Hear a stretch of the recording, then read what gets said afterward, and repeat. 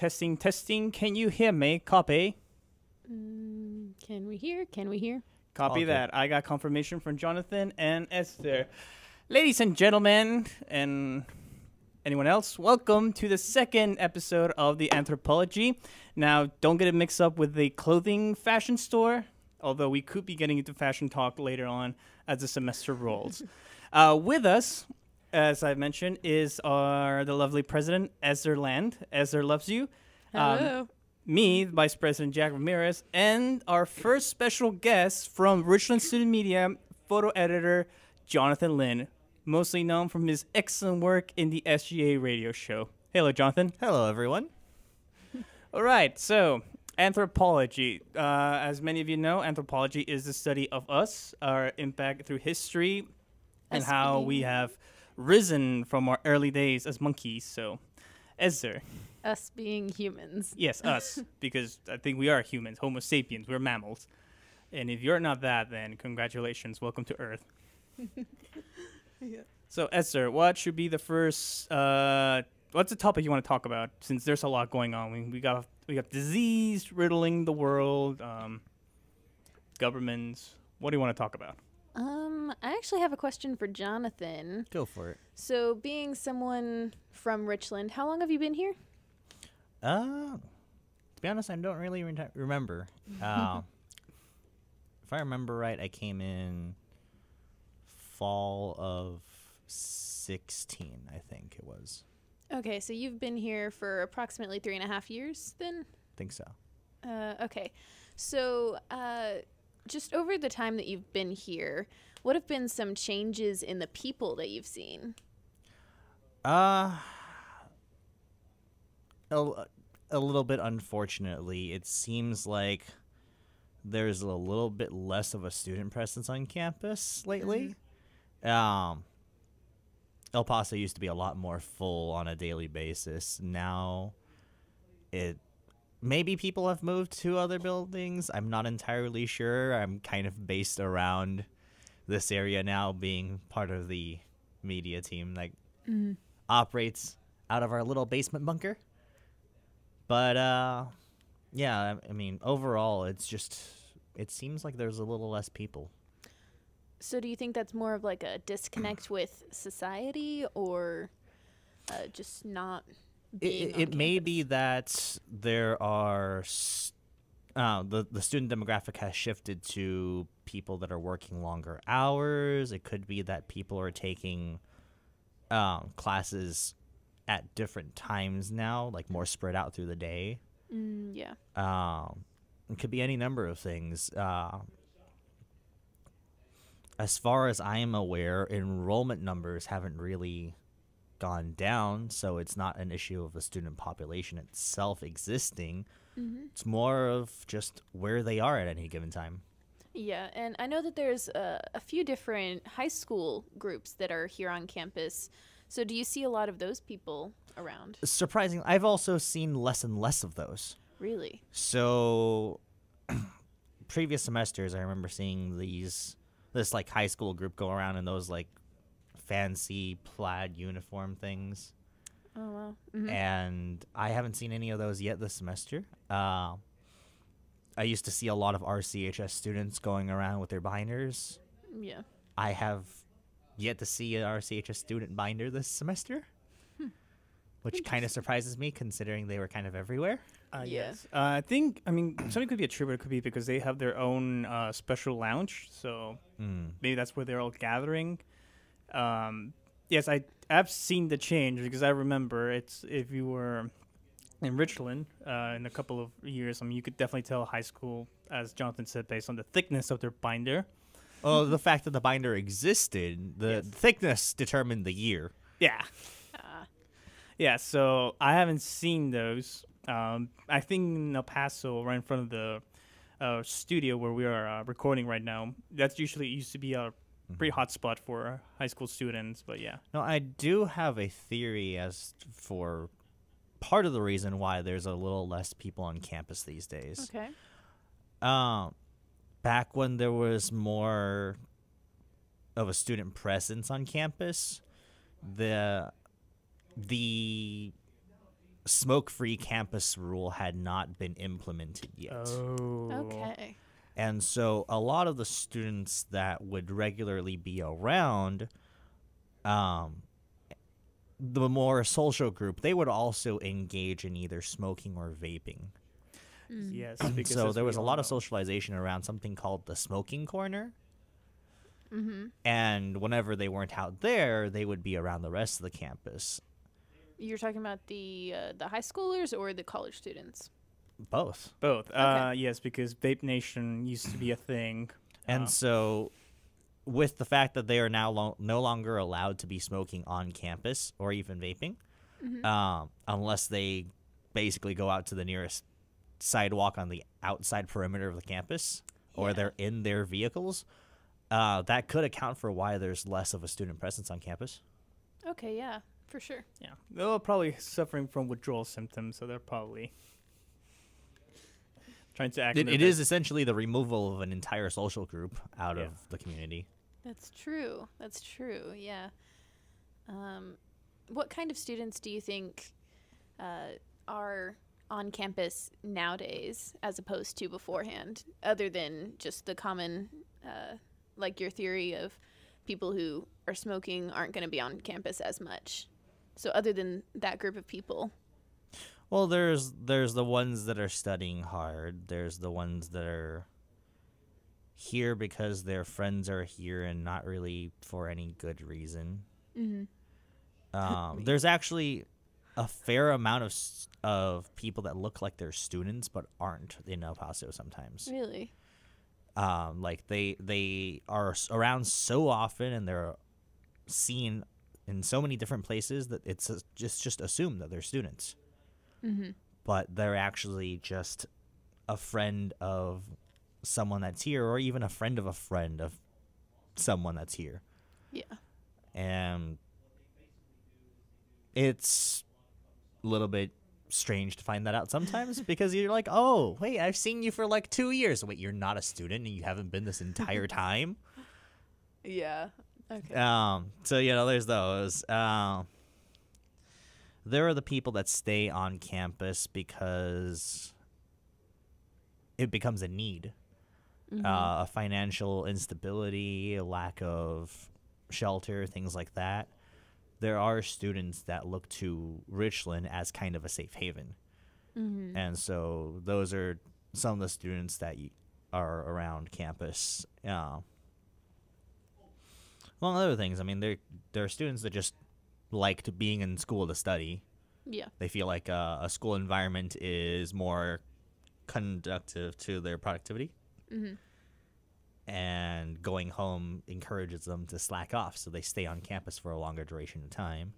And then there are people that stick around to make friends, Mm-hmm. which is always a good thing. And then, you know, there's uh, guys like me and Jack that are kind of on campus all the time because uh, our, our position as journalists demands it of us. Yeah. Be kind of everywhere at once. Yeah, for sure. Um, were you here on during the summer? During the Or the summer winter semester, break. n- um, I was not he, on campus for the summer semester. Mm-hmm. Uh, I was taking a summer course online. Uh, winter semester, I was not taking any courses. Mm-hmm. Um, I was on campus for a little bit. Okay. Did you see any change during the winter semester compared to the regular uh, s- uh, semester? Uh, significantly less human beings. Yeah, naturally. also, the fact that a significant portion of the newsroom was removed and converted into the Bloomberg Media Lab Mm, yeah. as the biggest structural change that I've seen on campus. Um, still not really sure why it's just an empty room. Uh, Yeah. I think they're just planning to see. They're probably going through the catalog to see what furniture is going to go in there. I mean, it's a brand new space, so I'm pretty sure it's going to take certain amount of planning. I don't know. I, I just hate the fact that the newsroom just got from. Last I heard, they were talking about portable tables and folding chairs. Ew. Yeah. Okay, so Jack, did you have any opinions about those questions? Uh, questions. Well, I was. Uh, well, you want to see the comparisons between, say, summer courses and then like regular spring and fall semesters. As Jonathan said, yes, Richland tends to be less livable. You see less people. I mean, for the 1st time, El Paso, right in front of the subway, it's so calm. It's just so relaxing. Yeah. Yeah. Yeah. Yeah. And what year are you? Uh, yes, I am finishing my second year here at Richland. So, Okay. Okay. yes. Cool. You know, w- over winter we were doing a little bit of uh, video work on campus, and it was this almost like a ghost town. Really? it was like Oh, wow. one person in Sabine when we were going through there. Uh, It w- it was intriguing. Yeah, well, everyone's traveling, uh, and if they're doing winter classes, they mostly like do it uh, online. I don't know. It's it's interesting to see how things change depending on the season. I recall at one point a joke was made about uh, potentially doing a whole run through video of Sabine during the winter and uh, posting it as one of those Urbex videos exploring an abandoned college in the middle of a city. that would have been funny. Oh, I'm ac- guessing y'all didn't do that. Yeah, nah, we, we ran out of storage Ah, space. such a shame. yeah. we were but- shooting eight, we were shooting in uh, 6K. Yeah. But yeah, indeed, if you want to do a film and you need a location, then yeah, Richland is a good place uh, during the winter and fall, although we cannot guarantee uh, different biomes will accommodate to your creativeness. Did you say different biomes? I don't know. Some people like to film in different settings. I don't know, desert. I don't know. The, welcome to the Richland College Desert. Yeah. Yeah. Where the plants are as dry as your humor. Uh, God that. bless Texas. Good- That's true. Bless the drought. It's been raining though. Thankfully, yes. Um, I think the winter is was heavily delayed this this time around. Uh, we did get snow in January, which is a bit rare, even though it was a bit brief. Mm-hmm. Yes. Yeah. So, what's y'all's opinions of the weather being from te- or I don't know if y'all are from Texas. I know Jack, you aren't, but um, y'all live in Texas and y'all have lived here obviously for two plus years. So, what's y'all's opinion of the weather? Well, personally, I detest the summer. I really don't like the sun and the heat. Uh, that's probably because I have long black hair and my head tends to warm up so much. But with and you wear scarves all the time. yes, that is also part of my fault. But I like it as a fashion statement, which is I have no fashion statement. Jack the model. But yeah, um, but when it comes to fall or winter weather here in Texas, I think it's pleasant. Some people will say it's freezing, but I just like to call it as fresh, on point. Gotcha. I, I, I do miss the occurrences of black ice that happen here in Texas. Oh yes, Mm. good times. there is a lot of entertainment to be had from truck pirouettes.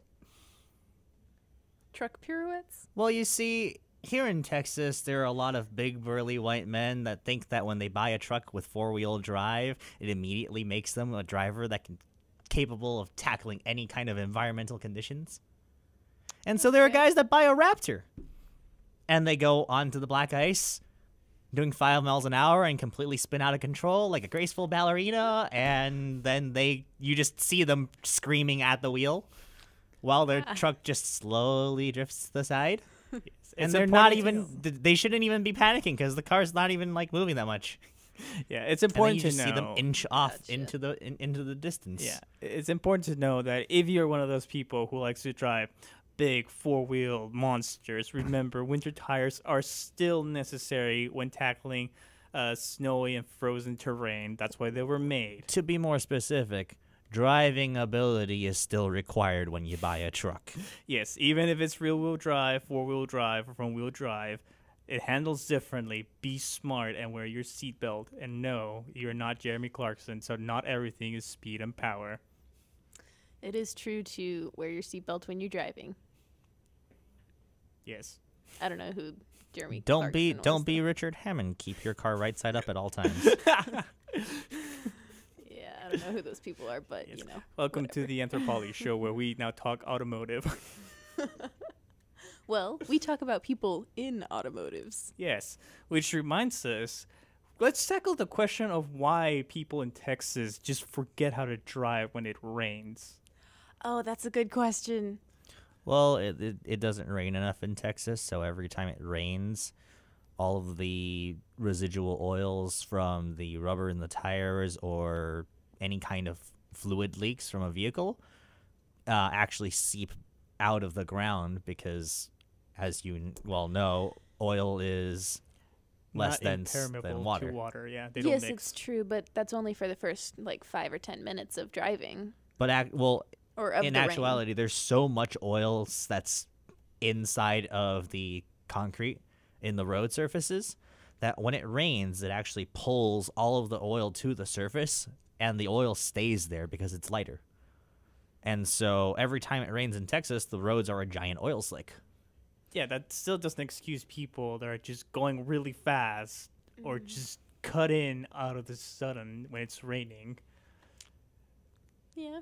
Yeah, I mean, honestly, There are a lot of people that don't understand the concept of friction or gravity. or physics. Yeah. I mean, some people do think the world is flat, so maybe if they could go fast enough, they'll go over the edge. You know, if the world were flat, cats would have pushed everything off of it by now. Yeah, and actually makes you wonder. I mean, they say the world is flat, and if you are listening and you're part of the Flat Earth Society, uh, where's the edge? Like, I want to know, like, On where, top of the turtle. Yeah. Well, Yeah, I mean, granted, that's if you like Stephen King or anything, but it's just interesting. Just like, Earth is flat. Where's the edge? Like, is it like in the movies, like in the movie Sinbad, where it's like a massive waterfall that just goes into space? Like,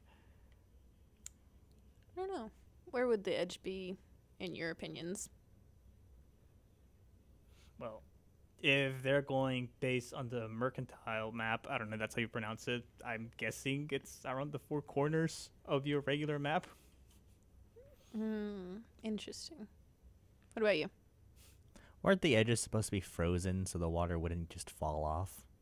Oh, that's smart. Yes. Remind me to do that when I create a world. That is true. Because it was supposed to be you would you would run across just ice and glaciers, and that's what like the Arctic Circle and Antarctica and things like that where It was the edge of the world. Yeah, but remember, we do have global warming, so technically, wouldn't that ice be melting? So it wouldn't see a massive drop of sea level, unless you're gonna start claiming that the, the Earth is a bowl. So yeah, probably. Hmm. So either the water level is dropping and the world is flat, or the water level is rising and the world is round. That's your conclusion? Well, as talking as a flat Earth Society member, not that I'm actually one of them, but if I were to be in their shoes, I would say it needs to be a bowl. But then, bowl? ag- yeah, like a like a bowl, not like a cereal bowl, but just has Like to a be a bit of a curvature. Oh, a bowl. Yeah. I don't believe bowls are Oh. considered to be flat. Um. You would be you would be part Like of the dinner plate. bowl? You you would be a part of the dinner plate Earth Society. I like that. Dinner plate Earth Society. Yes. Makes you wonder exactly, even after we have satellites, we've actually gone into space, step on the moon. You would think. Oh, it's a such i- set at Universal Studios. Yeah. Yeah, I mean, even that, even still, but we still have satellites circling the planet. It makes you wonder how is Earth flat society still? How is that thought still prevalent in the 21st century? They're hanging up there on strings. It's like a puppet show. Maybe I don't know because I know back then the world was because you, like, religious reasons that we will claim that the Earth is flat, but now that we've in a way surpassed the heavens, it's still amazing that. Well, you know, because gravity isn't relative. If you throw a structure hard enough, it'll stay up there. That's true. yeah. basically me when I was throwing pencils at the ceiling. Oh yeah, because the ceilings are like cardboard. Find a topic. Somebody will find a nonsensical response for it. Yeah, that's true. Um. All right. So, what languages do you know? Enough to make a difference. Not too many to be considered overly intelligent. So you know American. Fluent in sarcasm. Probably Uh, I, I also know Chinese, Taiwanese, and a bit of Spanish. Okay. Ooh. So, what are some similarities between the languages that you do know? You can represent all of them in the English alphabet. oh, you're so smart.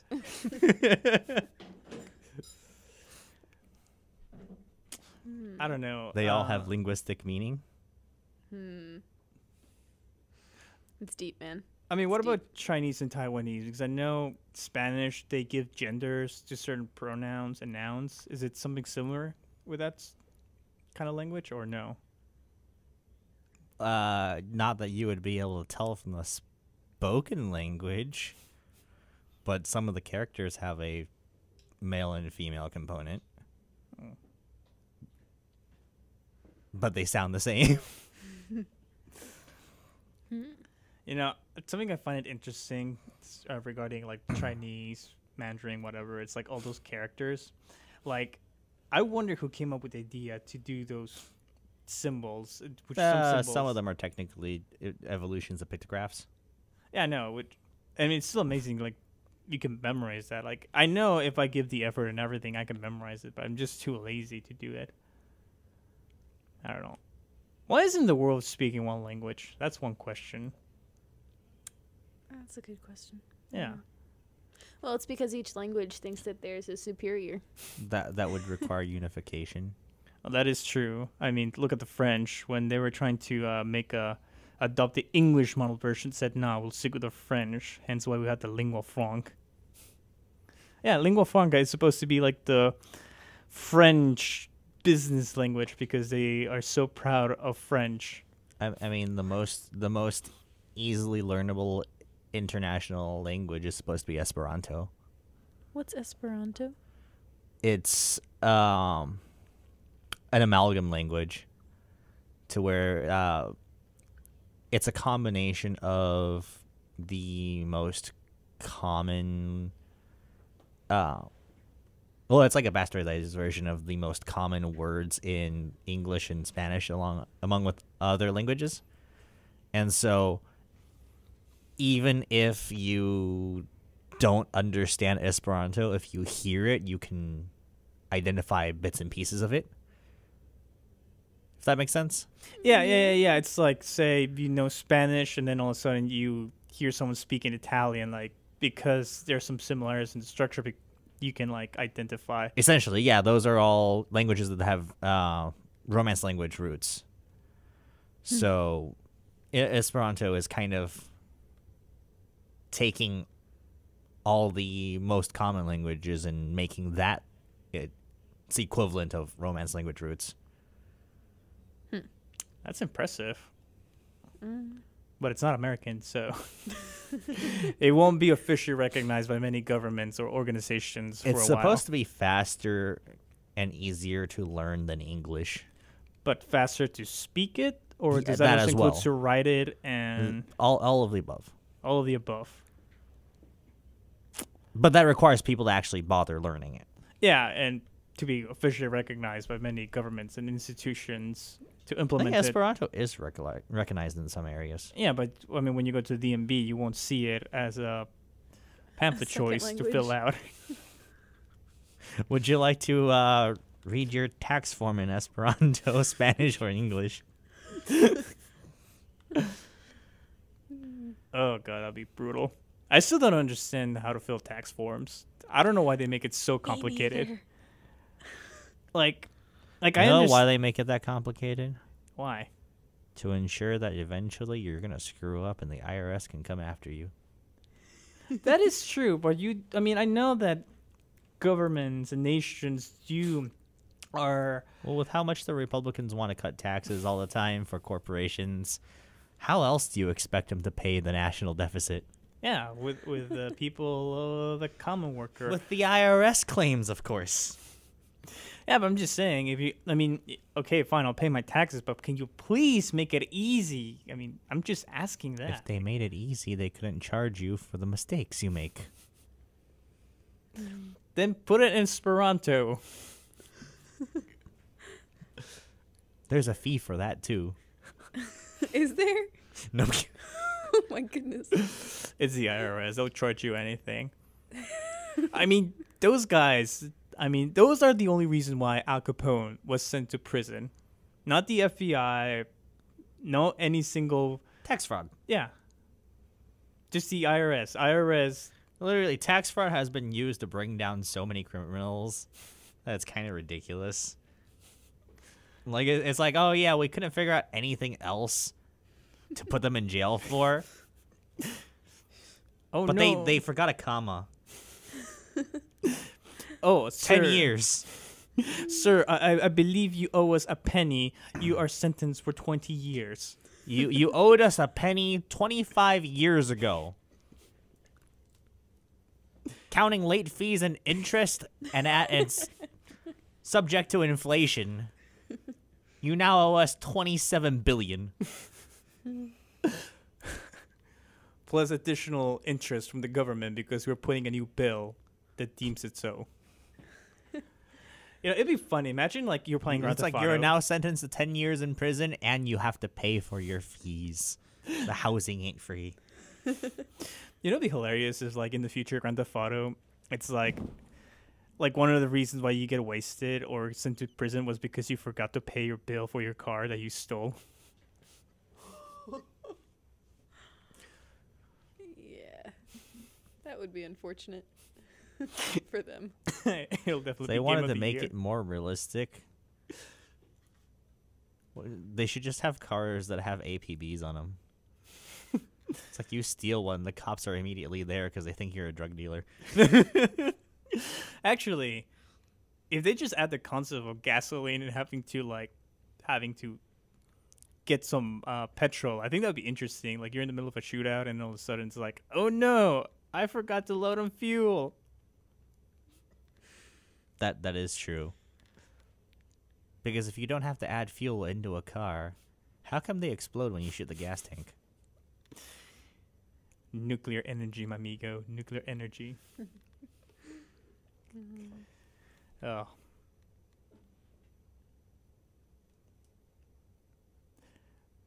So Ezra is apparently making some small reparations uh, to the uh, console board. Well, okay, my my headphones keep cutting out. Mm-hmm. Yes. This is a job for duct tape. Honestly, though.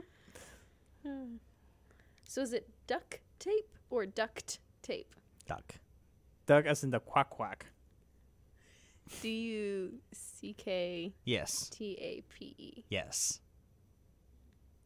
Why? So why it's not the like, brand. quack tape? the it, it- the brand has a yellow duck on it. Does Yeah. it?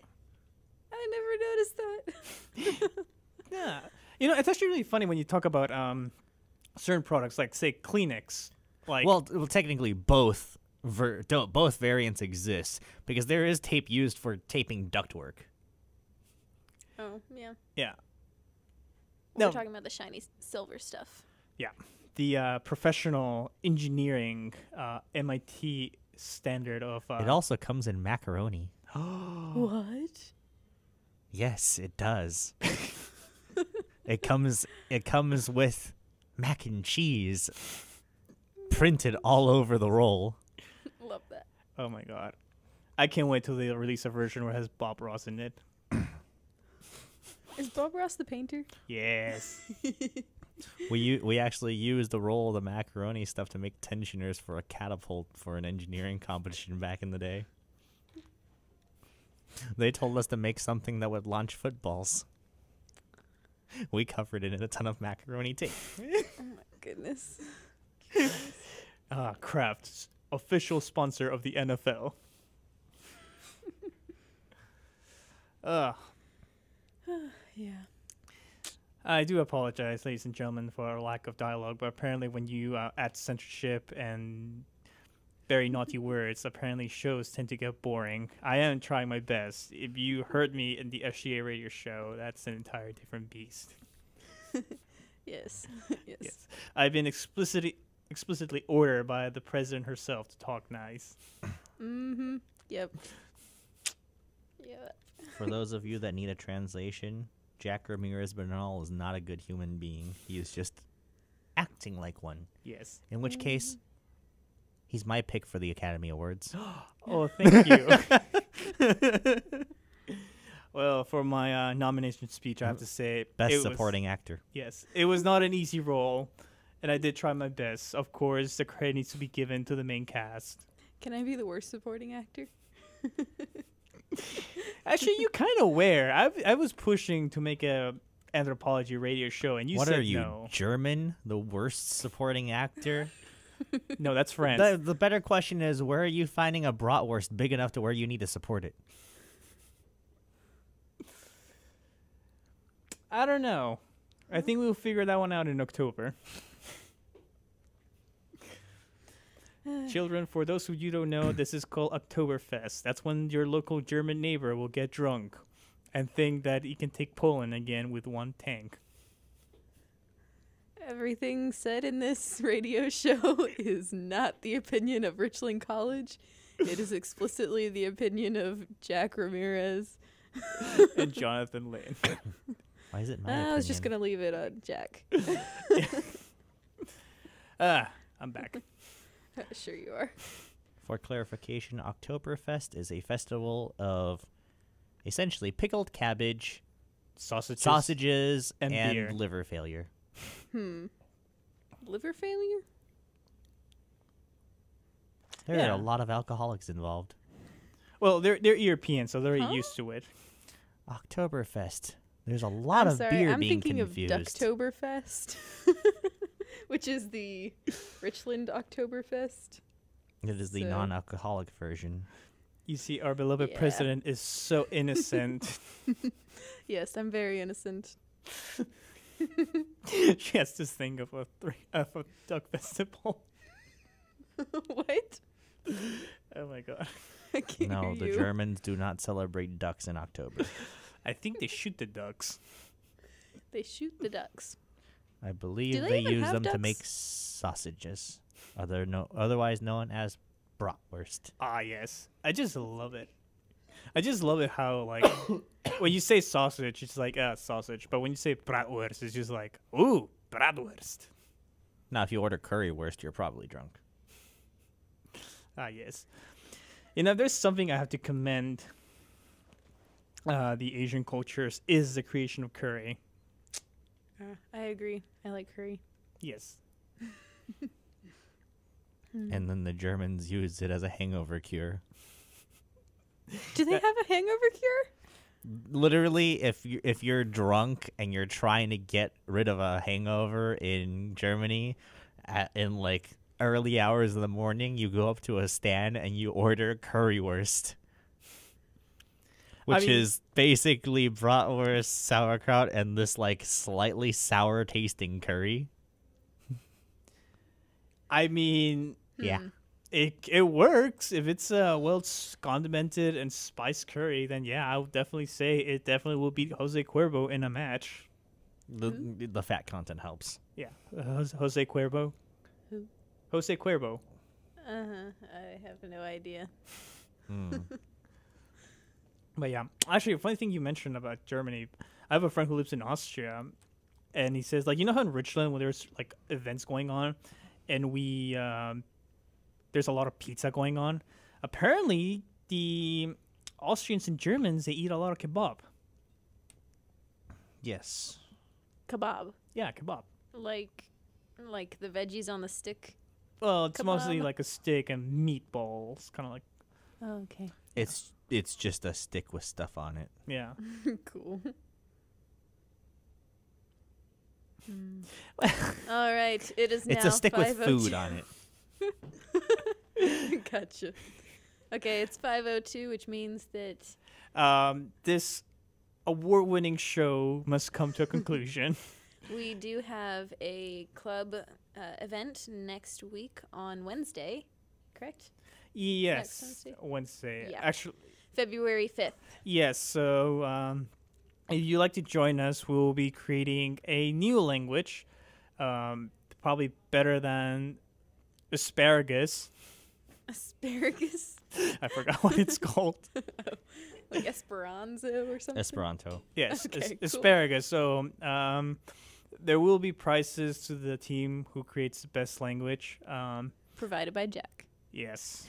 Well, according to the TV show SG1, the most universal language known to man and beyond is the, the utilization of the most basic building blocks of the universe as a form of communication. Meaning, Like sign language. no, using Pictures. atomic structure.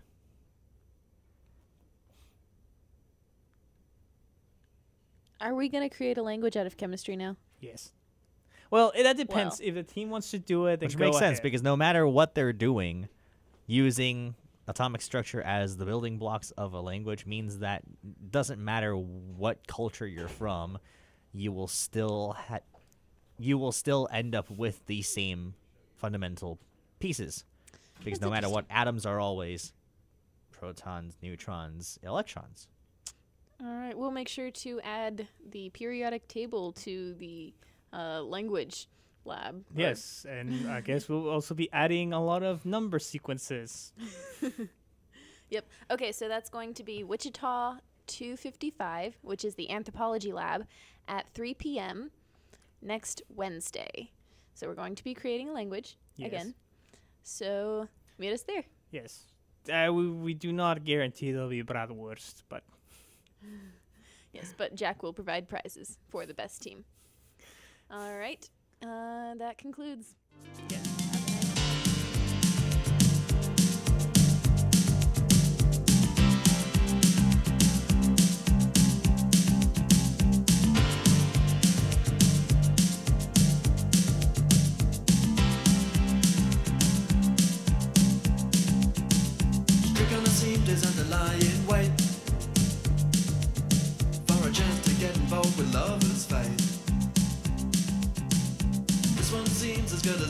Fate